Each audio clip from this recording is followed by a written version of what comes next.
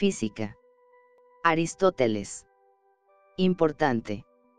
Este libro es de dominio público. Cortesía de dominio.público.es. Prólogo. Ya hemos editado en esta colección tres importantes obras de Aristóteles, Ética Nicomaquea, N grados 9, acerca del alma, N grados 28, y la Constitución de los Atenienses, N grados 40. Publicamos, ahora, una de las obras más relevantes del Estagirita, pues nació en la ciudad de Estagira, la física. Casi todos los tratadistas de Aristóteles insisten, hasta la saciedad, en que la física aristotélica no ha de entenderse en el sentido moderno de la palabra. Por supuesto. Cada teoría es propia de su tiempo y cristalización de los problemas y preocupaciones epocales. Y todos insisten en que hay ciencias actuales que se reconocen más en sus precedentes griegos, por ejemplo, las matemáticas, la geometría, la estatuaria, la medicina, el análisis de los comportamientos humanos, es decir, la ética y la política, etc., que la física. Solo en parte es cierto, y hemos de formular una esencial matización, los presocráticos, Platón y Aristóteles intentaron comprender y describir el universo, tal y como sucede ahora, solo que la cosmovisión que los griegos tenían era distinta a la nuestra. El pensamiento ha evolucionado de la unidad-totalidad del mundo griego a la parcialización de las ciencias en la actualidad. Es inevitable. El tiempo transcurre, las técnicas y teorías se perfeccionan, la unidad se disgrega, pero porque no hay ningún científico que pueda abarcar la totalidad. Y todos los científicos juntos todos los científicos podrían crear encuentros que ofertaran una visión de la totalidad desde las parcialidades. Eso intentó el Círculo de Viena. Pero el problema es social y político. Cada investigador se debe, todo el tiempo, a sus empresas que investigan aspectos concretos y parciales que proporcionan locales e importantísimas rentabilidades económicas. Escribe Guillermo R. de Echandía en su Introducción a la Física, Gredos. Madrid, 1995, N grados 203, página 10. En efecto, Fisis no era una región especial del ente, sino que en la tradición griega designaba todo cuanto existe en el universo, los astros, la materia inerte, las plantas, los animales y el hombre. El surgimiento en el siglo V de una ciencia de la fisis, en este sentido, fue el gran hecho que decidió el destino del pensamiento griego. Lo que la expresión Piseionta quería significar en el legado de los jonios es que las cosas provienen y se fundan en la fisis, que la fisis es su entidad misma, lo que las hace estar siendo en sus más diversas mutaciones y vicisitudes, que para ser hay que llegar a ser y que la fisis es el gran protagonista del devenir de lo real, de cuanto es y acontece. Es decir, la fisis es el arjé, el principio de todas las cosas. La física trata de un conjunto de principios generales atinentes a la totalidad de las ciencias, fundamentalmente las del mundo corpóreo, es decir, aquellos principios sin los cuales no se podría comprender la realidad. Así, Aristóteles estudia las substancias pertenecientes al mundo físico, tanto las terrestres, como las celestes, ambas son móviles, pero sus movimientos son diferentes, las celestes poseen movimiento circular, las substancias del mundo terrestre, movimiento local, así como mutación de generación y corrupción. Aristóteles ofrece un análisis muy matizado del movimiento, hay movimientos accidentales, local, cuantitativo y cualitativo, y movimiento substancial.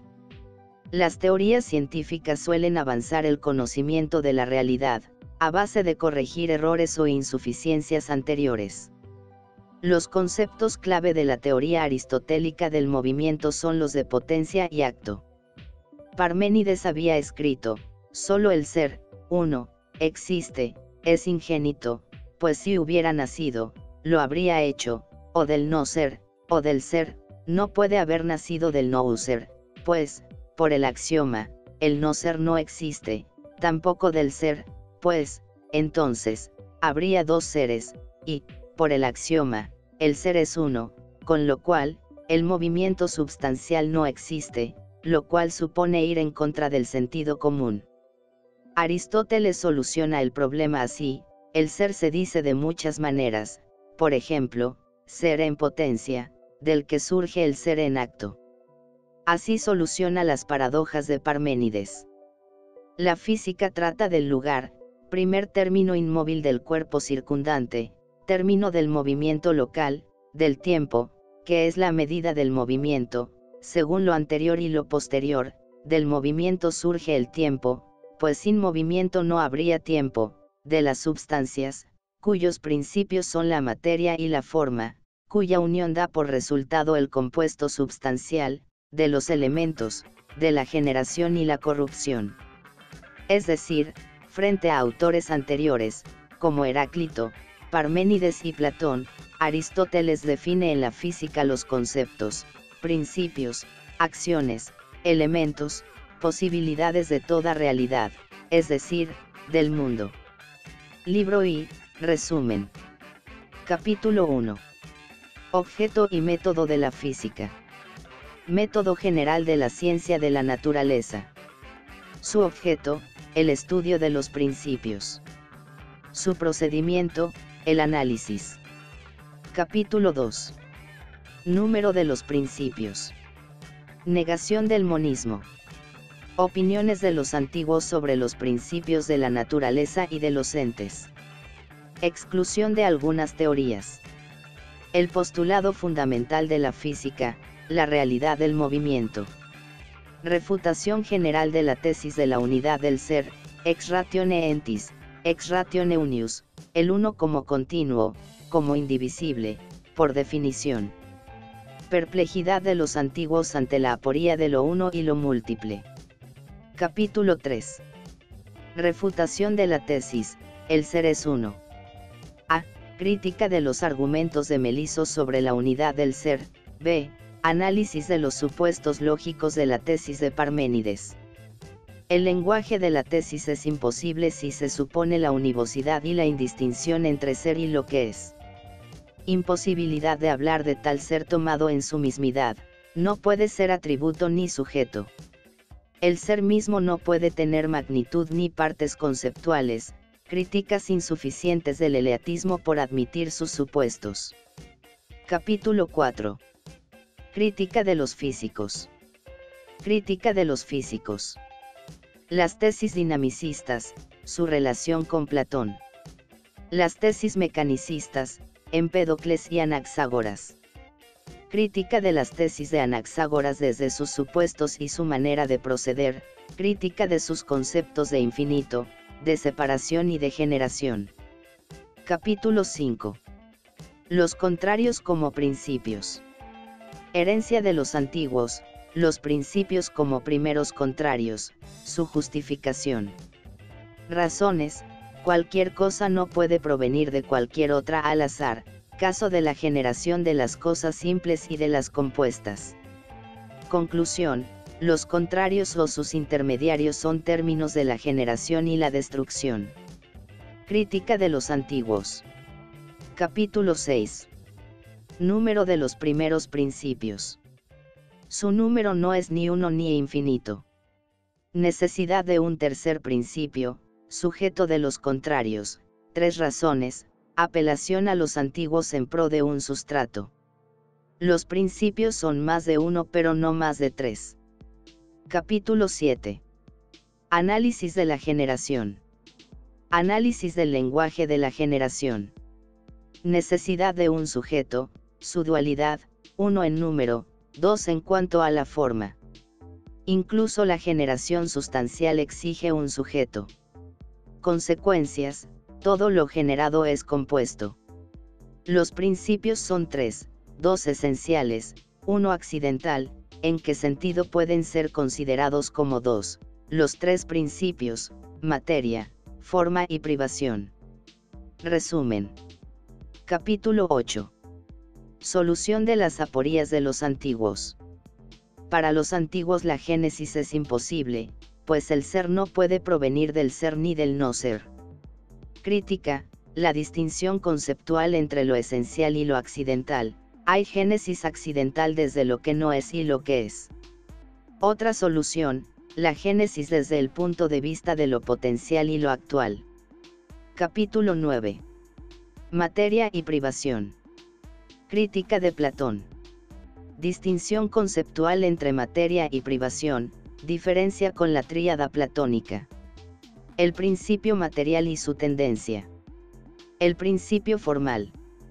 Libro I. Un objeto y método de la física.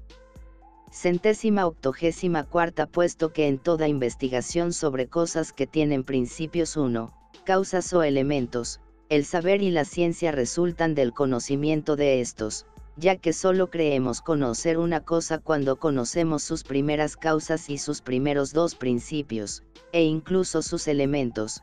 Es evidente 15 que también en la ciencia de la naturaleza tenemos que intentar determinar en primer lugar cuánto se refiere a los principios 3. La vía natural consiste en ir desde lo que es más cognoscible y más claro para nosotros hacia lo que es más claro y más cognoscible por naturaleza 4, porque lo cognoscible con respecto a nosotros no es lo mismo que lo cognoscible en sentido absoluto. Por eso tenemos que proceder de esta manera, desde lo que es menos claro por naturaleza, pero más 20 claro para nosotros, a lo que es más claro y cognoscible por naturaleza. 1.1 La discusión sobre los principios, Archai, del libro y es una búsqueda de los prima contraria y su fundamento. En Met. 1013-18 se dice que Archie es aquello primero, protón, de donde, otgen, algo procede, y se distinguen tres clases de principios, de donde algo, es, de donde algo, llega a ser, y de donde algo, es conocido.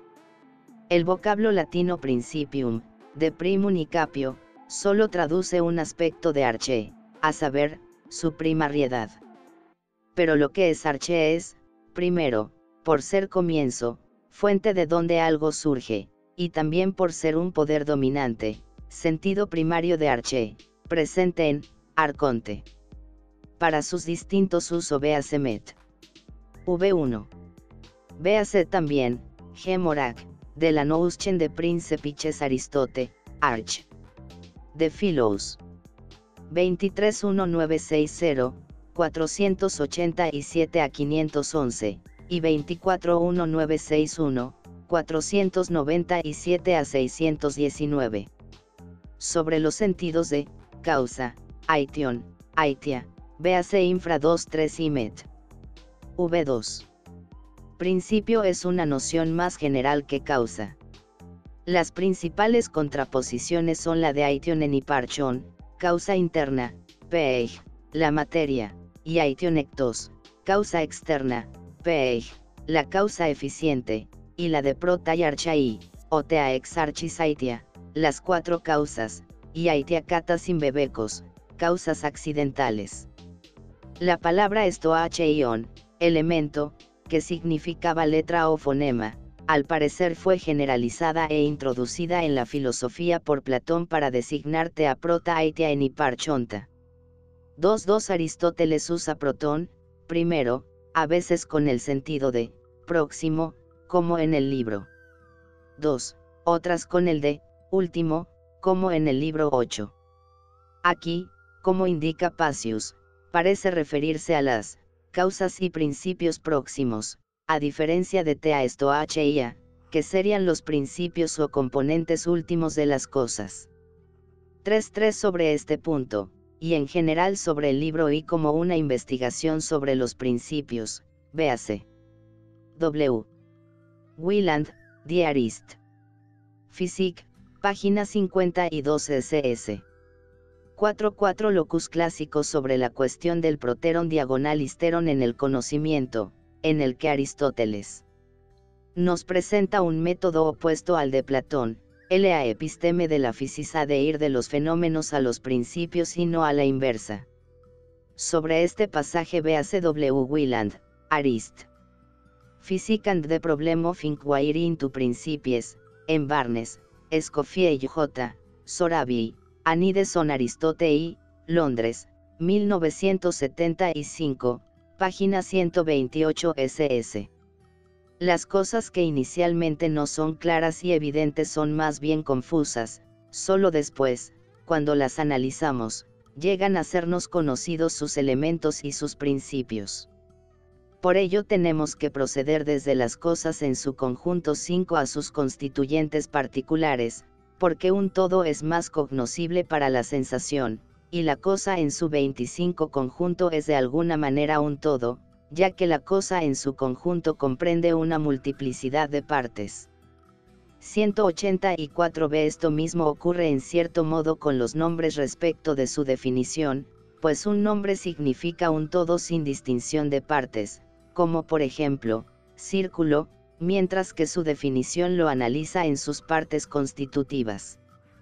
También los niños comienzan llamando, padre, a todos los hombres, y, madre, a todas las mujeres, solo después distinguen quién es cada cual. 5.5 Católou, que normalmente se lo traduce por, universal, general, aquí parece significar algo. Tomado como un todo, sentido etimológico de Catolú. 2. Número de los principios. El ser no es uno como suponen Parménides y Meliso. 15. Tiene que haber necesariamente o un principio o muchos.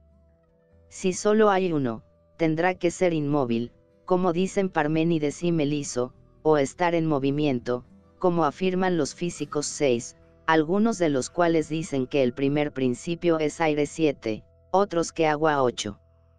Pero si hay muchos, tendrán que ser o finitos o infinitos. Si son finitos y más de uno, entonces serán 2, 9 o 3 o 4, 10 o 20 cualquier otro número. Y si son infinitos, entonces o pertenecerán a un único género, diferenciándose solo en la figura, como afirma Demócrito 11, o serán diferentes o incluso contrarios 12 en especie. Los que buscan cuántos entes hay realmente proceden de la misma manera 13, pues pretenden saber si lo que constituye primariamente a los entes es uno o múltiple, y en el caso de que sean múltiples, si son finitos o infinitos. Por lo tanto, estos también investigan si los principios o los 25 elementos son uno o muchos. Trazó el primer bosquejo histórico del problema de los OTA, son uno o muchos, o bien y uno y muchos. Niegue los principios de la geometría, tendría que remitirse a otra ciencia o una ciencia común a todas, lo mismo le sucede también a quien estudia los principios. Porque si solo hay un ente, y es uno de la manera mencionada, entonces ya no hay un principio 15, puesto que todo principio es tal si es principio de uno o de muchos entes. Examinar si el ser es uno en ese cinco sentido es, pues, como discutir cualquiera de las otras tesis que se presentan solo por discutir, tales como la de Heráclito 16 o la de que el ser es un único hombre, o es como refutar una argumentación erística, tal como la de Meliso o la de Parménides 17, pues ambos parten de premisas falsas y sus diez conclusiones no se siguen, la de Meliso es más bien tosca y no presenta problemas, pero si se deja pasar un absurdo se llega a otros, y en eso no hay ninguna dificultad. Por nuestra parte damos por supuesto que las cosas que son por naturaleza, o todas o algunas, están en movimiento, esto es claro por inducción 18. No estamos obligados a 15 refutar toda doctrina adversa, sino solo cuantas concluyen falsamente de los principios de una demostración, en caso contrario, no. Así, por ejemplo, es propio del geómetra refutar la cuadratura del círculo por medio de los segmentos 19, pero refutarla por el método de antifonte 20 no es tarea propia de un geómetra pero como ellos plantean. Epagogé, término no empleado antes de Aristóteles en el sentido técnico que tiene en el corpus, aunque tiene antecedentes en los usos de epagein en Platón, cf. polígono 278a, se suele traducir por inducción, en sentido metodológico pero a veces, como en este caso, significa simplemente experiencia. Para Aristóteles la realidad del movimiento es un hecho indubitable, CF 193 a 3 y nota a Deloc, acerca del alma 425 al 3-427 al 6. 1919 se refiere al célebre geómetra Hipócrates de Chios, quien suponía que si un tipo particular de lúnula puede encuadrarse, también podrá ser encuadrada otra. Para el problema de la cuadratura del círculo, véase at History of Greek Mathematics, 1921, volumen. Y, páginas 183 a 200, Ross, O.C., páginas 463 a 466. 2020 CF. EAD, OC, y, páginas 221 a 223.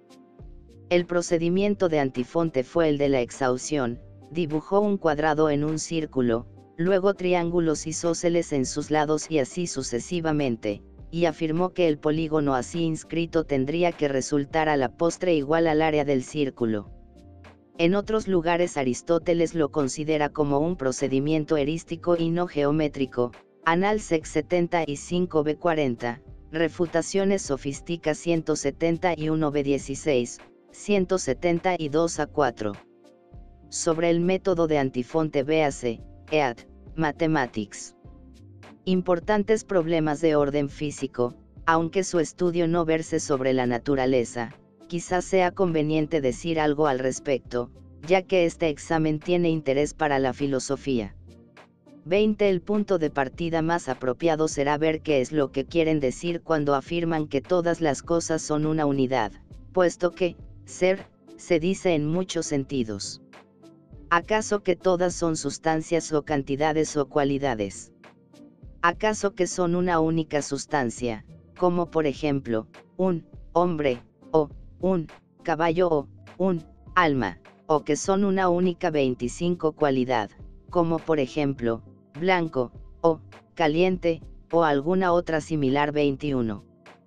Todas estas alternativas son muy diferentes y no es posible afirmarlas a la vez porque si el todo fuese un todo de sustancia y también de cantidad y de cualidad 22, estén o no separadas entre sí, habría muchos entes.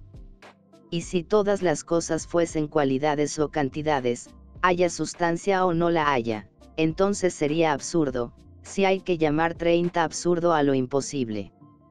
Porque ninguna de estas puede existir separadamente, excepto la sustancia, ya que todas ellas se dicen de la sustancia como su sujeto.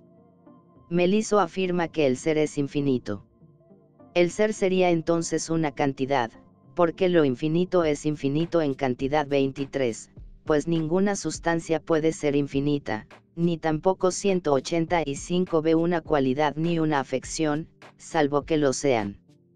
21-21 Nótese la reducción de la sentencia eleática teapante en este al lenguaje modal aristotélico. Preguntándose qué significan categorialmente tapanta y en.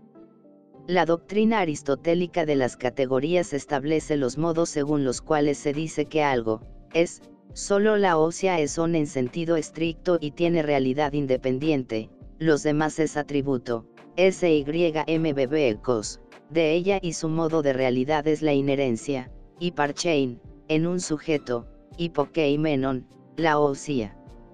22-22 Aunque el color es siempre color de un cuerpo coloreado, son distinguibles catalogon, por. Tanto son, muchos.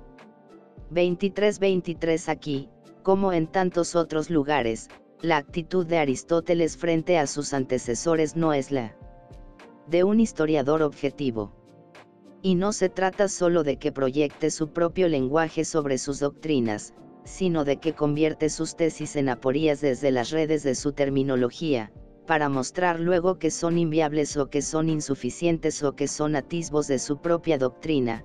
Véase W.K.C. Guthrie, Aristoteles a Historian of Philosophy H.Y., Journal of History of Philosophy 771957. 35-41. Accidentalmente 24, esto es, si cada una fuese al mismo tiempo una cantidad.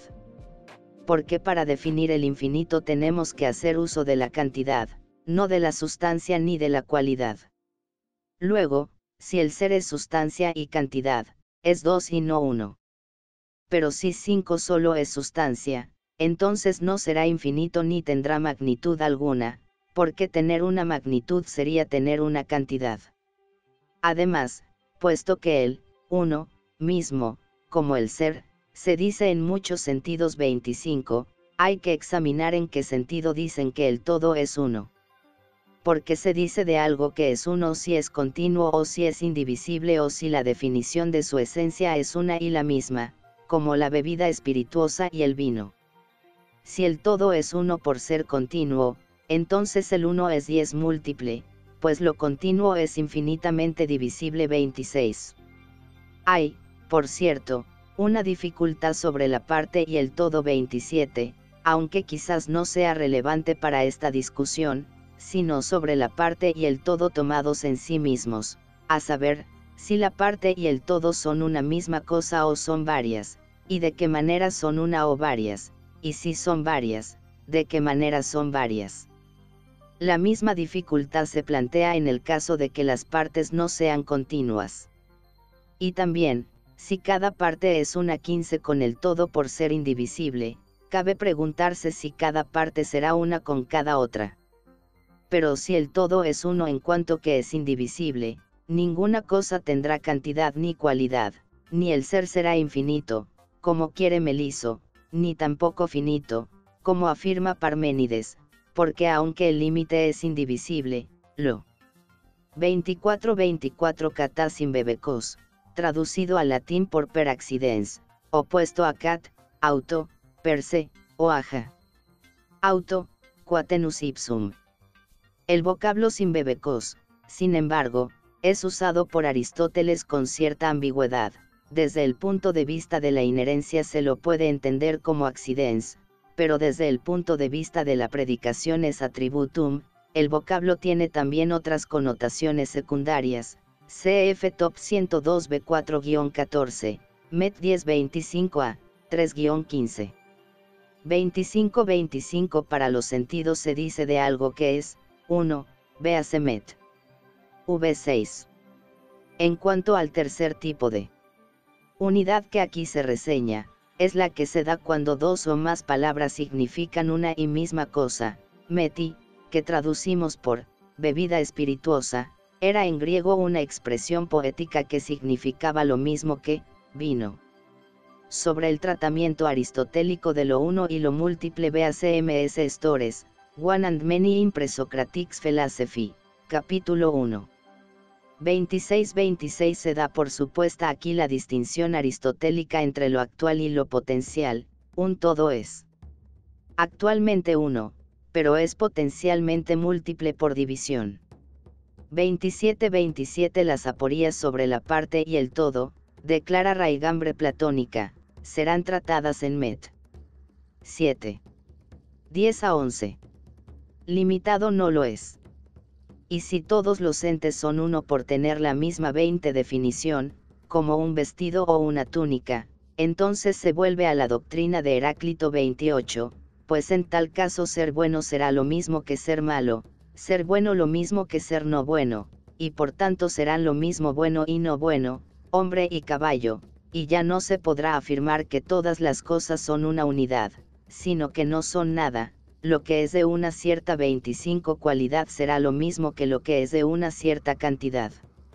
Los antiguos más próximos a nosotros se sentían perturbados ante la posibilidad de que una misma cosa resultase a la vez una y múltiple. Por eso algunos, como Licofrón 29, suprimieron el es, otros modificaron la forma de las expresiones, diciendo, por ejemplo, hombre blanqueado, en lugar de el hombre es blanco, camina, en lugar de, está 30 caminando, a fin de evitar que lo uno se hiciera múltiple si se le añadía el, es, como si, uno, y, ser, solo tuviesen un único significado. Pero los entes son muchos, o por definición, por ejemplo, ser músico, es distinto de, ser blanco, aunque ambos sean un mismo hombre, de esta manera lo uno puede ser múltiple, o por división, como el todo y sus partes. Ante esto se quedaban perplejos, pues tenían que centésima octogésima sexta admitir que lo uno era múltiple, como si no fuera posible que una misma cosa sea una y múltiple sin oposición, pues lo que es uno puede ser uno en potencia o uno en acto.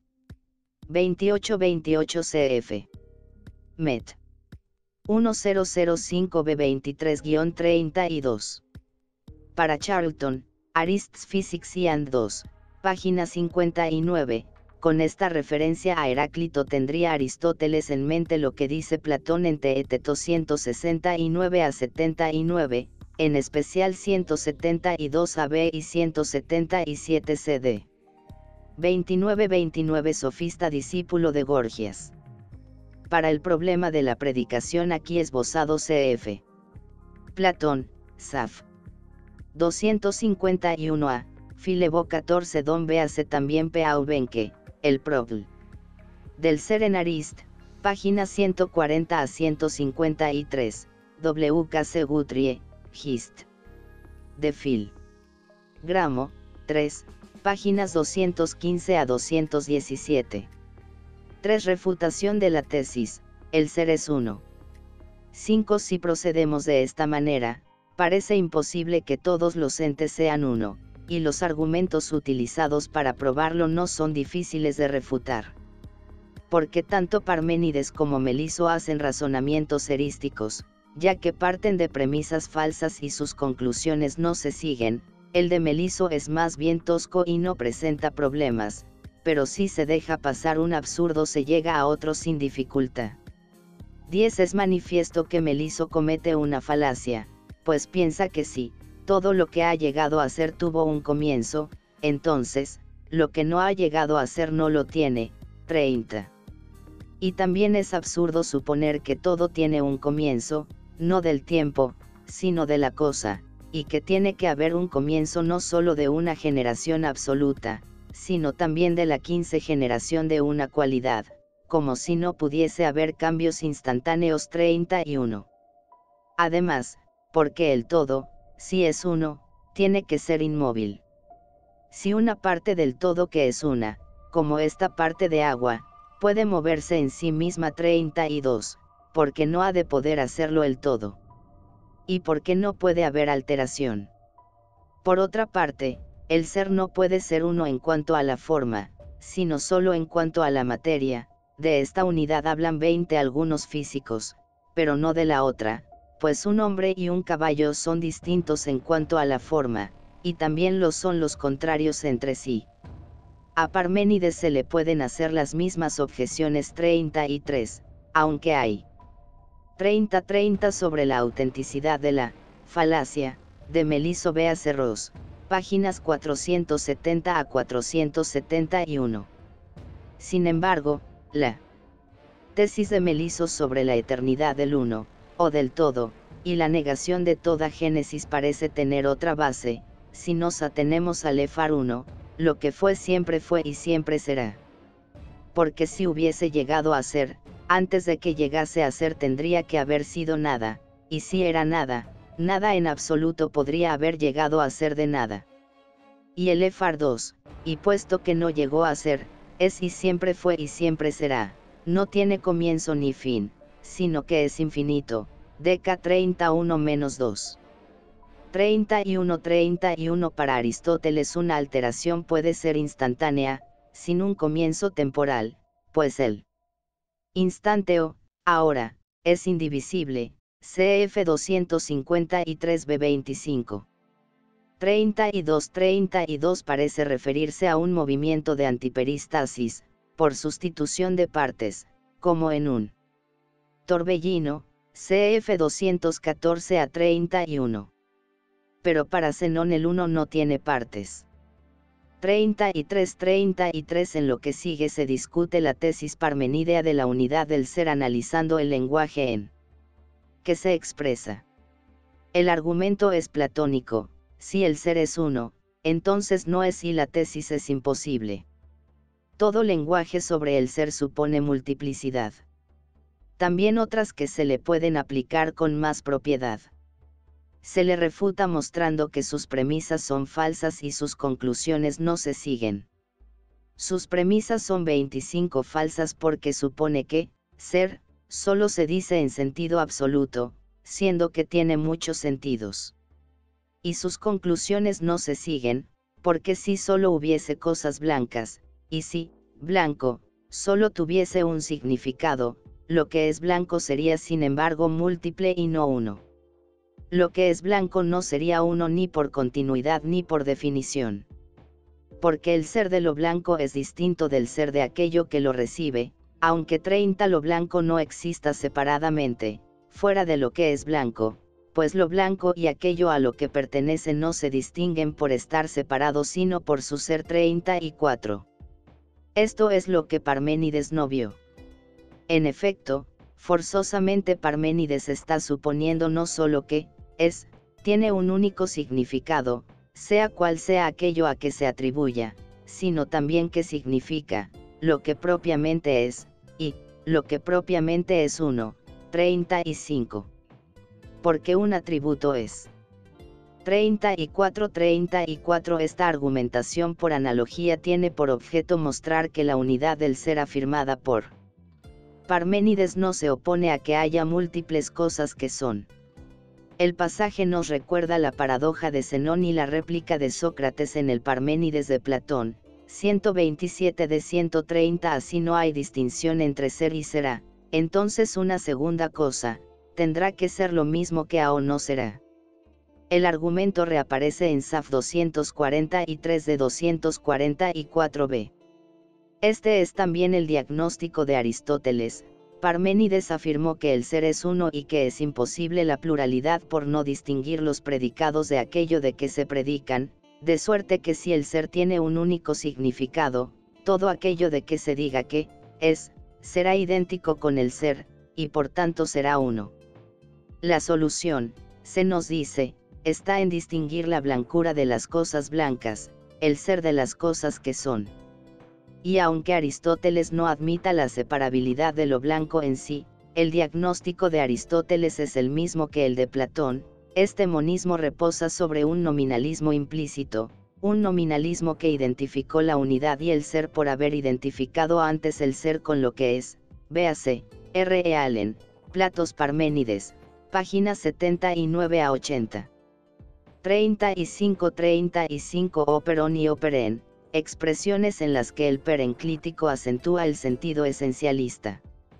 Que tiene en este caso el relativo o referido a onien, en la edición de Didot se las traduce enfáticamente por, quodest propriat que essentialiterens, y, quodest propriat que essentialiterunem, dicho de otra forma, el ser mismo, la unidad misma.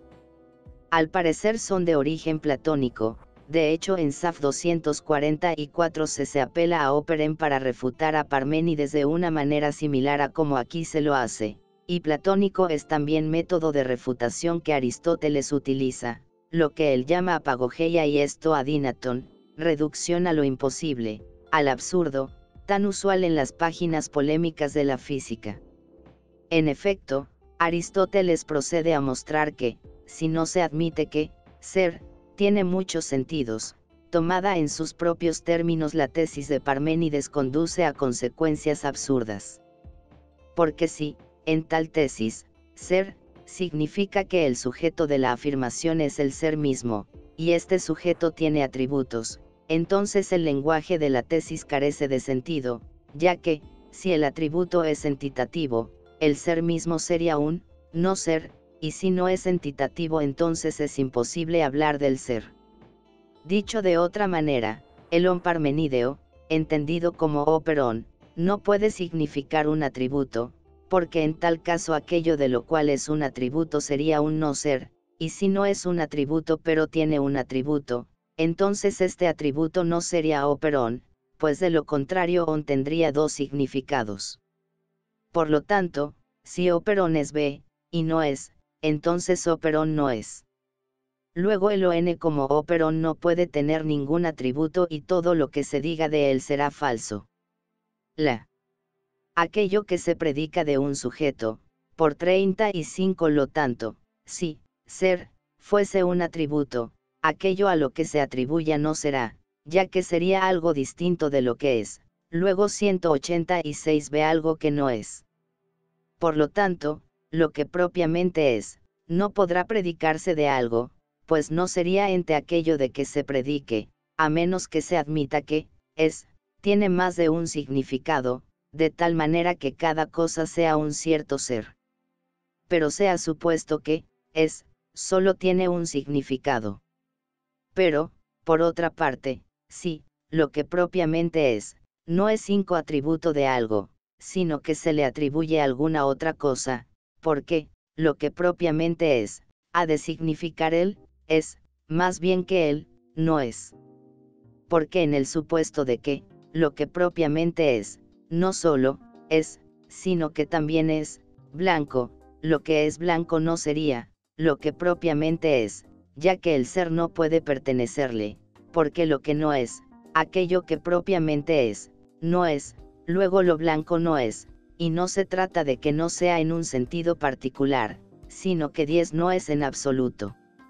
Luego, lo que propiamente es, no es, porque si se dice con verdad que es blanco, esto significa decir que no es. Por consiguiente, también, blanco, tendrá que significar, lo que propiamente es, pero entonces, es, tendría más de un significado. Además, si el ser es, lo que propiamente es, entonces no tendrá magnitud 36, porque en tal caso el ser de cada una de sus partes sería distinto. Por otra parte, que, lo que propiamente es, es divisible 15 en otros que, propiamente son, es también evidente desde el punto de vista de la definición. Por ejemplo, si, hombre, fuese, lo que propiamente es, también, animal, y, bípedo, tendrían que ser, lo que propiamente es. Porque, si no lo fueran, serían entonces atributos del hombre o de algún otro sujeto 37. Pero, argumentación nos recuerda la primera hipótesis del Parménides, en el sentido de que si no se puede distinguir entre ser y lo que es, porque solo el ser es, todo lo que se diga sobre el ser no tiene sentido. 36 36 y el on es entendido como operón, entonces no puede tener magnitud, porque si la tuviese, habría que admitir la diferencia.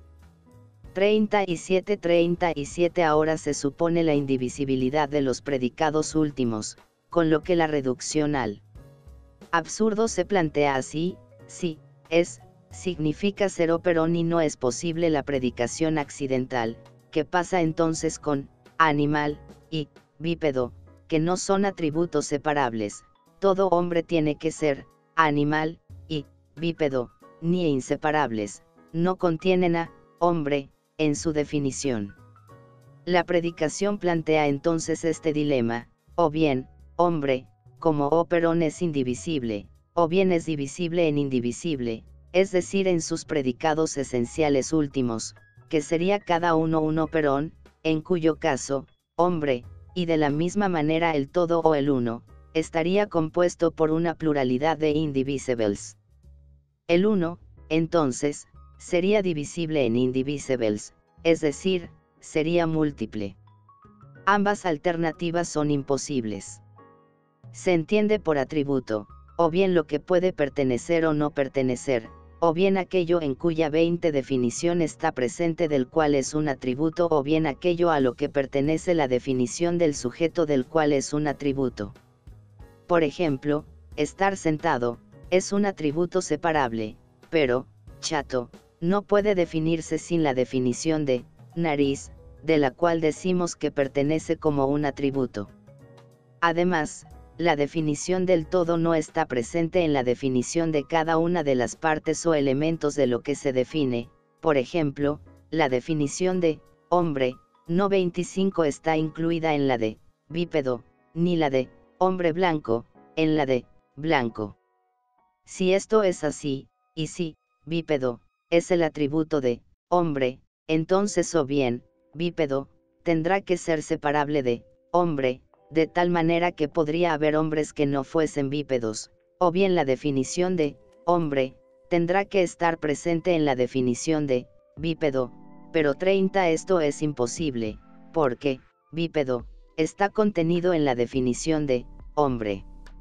Y si, bípedo, y, animal, fuesen atributos de otra cosa y si ni uno ni otro fuesen, lo que propiamente es, entonces, hombre, sería también un atributo de otra cosa. Pero, lo que propiamente es, no puede ser atributo de nada, y aquello de lo cual se predican ambos y cada uno en particular, bípedo, y, animal, tiene que ser también aquello de lo cual se predica el compuesto, animal bípedo. 35 tendremos que decir, entonces, que el todo está compuesto de indivisibles. Algunos nos han transmitido ambos argumentos, a, el 187 a que afirma que todas las cosas son una, porque, ser, solo significa una cosa, con lo cual supone que el no ser es 38, y b, el argumento de la dicotomía 39, que supone 38-38. Aubenque, O.C., página 150, siguiendo a los comentaristas antiguos, piensa que hay aquí una referencia expresa a Platón, y nos remite a Met. 1089 a 2-6, son muchas las razones del extravio, de los platónicos, hacia estas causas, aunque la principal es el haber planteado los problemas a la manera antigua porque les pareció que todos los entes serían un solo, el ente en sí, si no se conseguía refutar el argumento de Parménides, pues jamás se logrará por la fuerza que el no ser tenga ser, y que era necesario, probar que el no ser es, cf. Saf trigésima séptima, 256e. Ross, O.C., página 480, siguiendo a Bernet piensa que es más probable que haya aquí una referencia a la doctrina atomista de la realidad del vacío, como no ser, y nos remite a acerca de la gen. Y la Uarar. 324 b 35-325 a 32.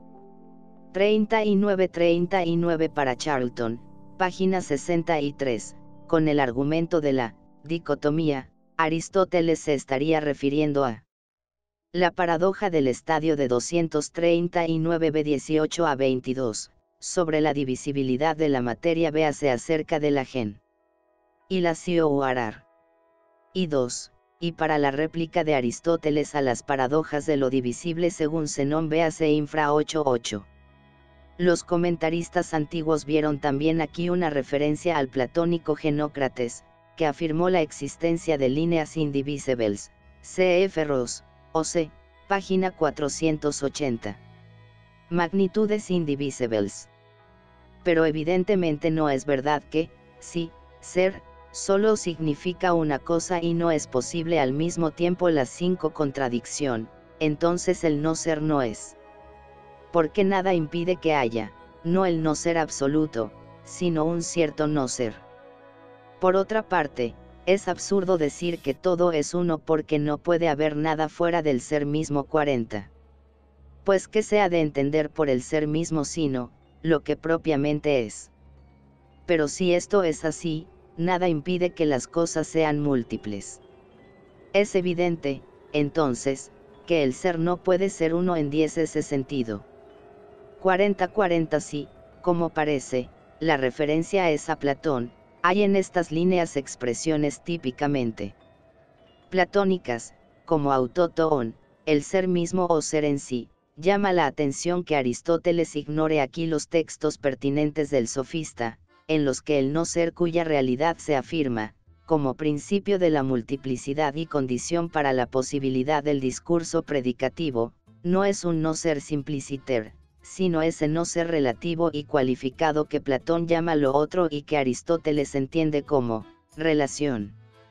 Pero para Aristóteles, indica Aubenque, página 148 a 149, el no ser como relación no es algo opuesto al ser, lo otro que el ser no es sino otro ser, lo que no es por sí puede ser por accidente, lo que no es en acto puede ser en potencia. El fundamento de la multiplicidad hay que buscarlo en el seno mismo del ser, en la pluralidad de sus significaciones. 4. Crítica de los físicos. En cuanto a los físicos 41, Estos hablan de dos maneras. Algunos establecen que el uno es el cuerpo subyacente, bien uno cuarenta y dos de los tres elementos o bien otro más denso que el fuego pero más ligero que el aire, 43, del que se generan todas las demás cosas, 15 que se hacen múltiples por rarefacción y condensación 44. Ahora lo faro y lo denso son contrarios y, tomados en general, son el exceso y el defecto, como lo son lo grande y lo pequeño de los que habla Platón 45, salvo que él hace de estos la materia y del uno la forma, mientras que ellos hacen del uno la materia subyacente y de los contrarios las diferencias o formas.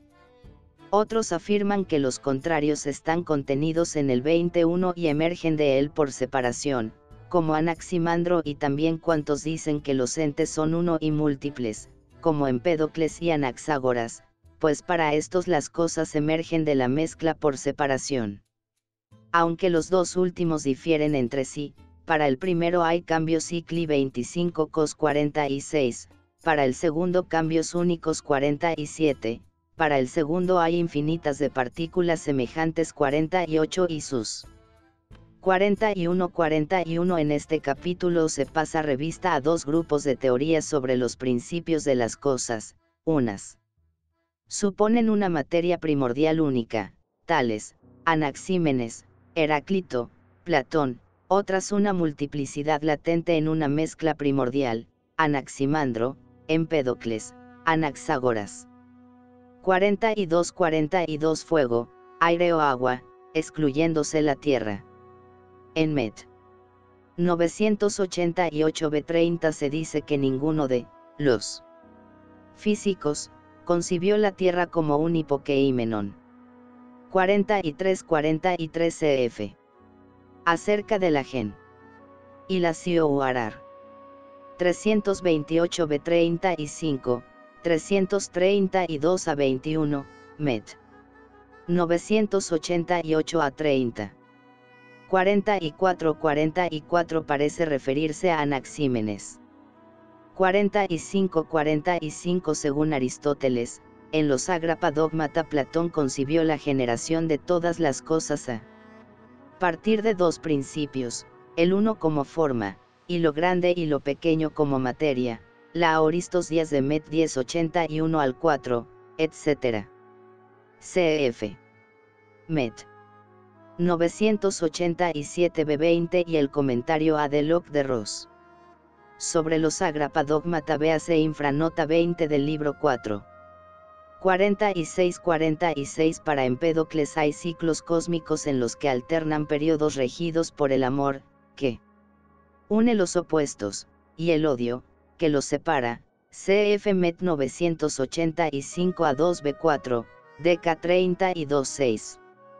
47-47 para Anaxágoras, en el principio fue la mezcla, Migma, luego vino el NUS como principio.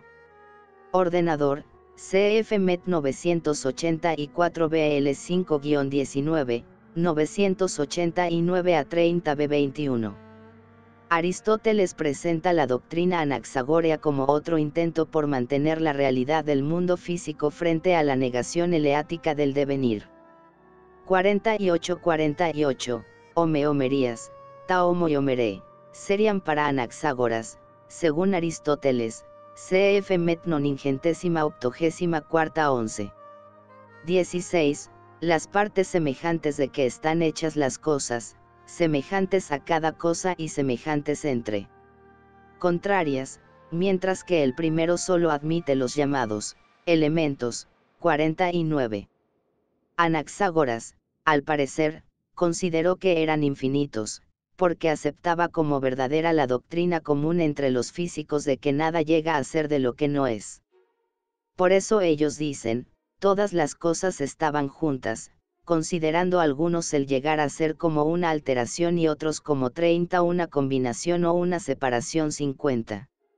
Además, la generación recíproca de los contrarios les llevó a suponer que tenían que haber existido ya uno en otro porque si todo lo que llega a ser tiene que venir o de lo que es o de lo que no es, y es imposible el llegar a ser de lo que no es, sobre estas doctrinas todos los físicos están de acuerdo, Pensaron entonces 35 que lo primero se seguía necesariamente, a saber, que las cosas llegan a ser de cosas ya existentes, aunque por la pequeñez de sus masas no nos sean perceptibles. Por eso de 187 decían que toda cosa está mezclada en toda cosa, porque veían que todo proviene de todo, las cosas parecen diferentes y se les da distintos nombres según sea aquello que predomine numéricamente entre los infinitos constituyentes de la mezcla. Para ellos, nada es enteramente blanco o negro o cinco dulce o carne o hueso, sino que la naturaleza de una cosa sería lo que parece poseer preponderantemente. Ahora bien, si el infinito en cuanto infinito es incognoscible, entonces el infinito según el número y según la magnitud es una cantidad incognoscible, y el infinito según la forma es una cualidad incognoscible. Y si los principios fueron infinitos según el número y según la forma, sería imposible conocerlo. Sí. Mientras que para Empédocles un cuerpo por división se resuelve en los cuatro elementos, para Anaxágoras por más que se lo divida siempre se encontrará partes semejantes, es decir los elementos son partes semejantes, acerca del cielo 302 a 28. Ahora bien, aunque consagrada por la tradición doxográfica posterior, en la que se usa homoiomereia, término utilizado por primera vez en Epicuro, la palabra homoiomeres no aparece en los fragmentos de Anaxágoras, y es probable que fuera una invención de Aristóteles, C.F. Ross, Met. Y 132.